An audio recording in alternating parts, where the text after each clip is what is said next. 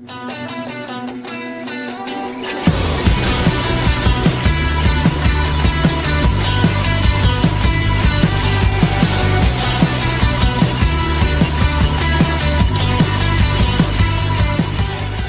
well, I'm delighted to be here today at the Ireland Con conference as part of Ireland Week. This is the kind of business element of the of the week and what's been a, an incredible uh, celebration of Irish culture, Irish heritage, um, and now of course the Irish the business links between Ireland and, and Los Angeles and Southern California is here today. One of the things that we've discovered in our experiences of filming in Northern Ireland and around the Republic of Ireland is the incredible talent both in front and behind the camera.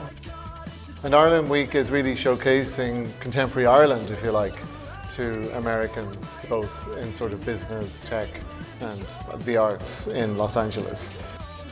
And so we wanted to cook up a plan. How can we get more people involved in year two? And myself, Buzz, Deirdre, Panty, uh, we thought let's get a cast together. Let's bring together the best of Irish writing, the best of Irish acting, and uh, create a show in one day in breakneck speed. So we all met this morning, 10 a.m., and we spent eight hours rehearsing 10 scenes by Irish writers, uh, contemporary and from the canon. And this evening we put on a show for 380 people. We've been on the road for six weeks.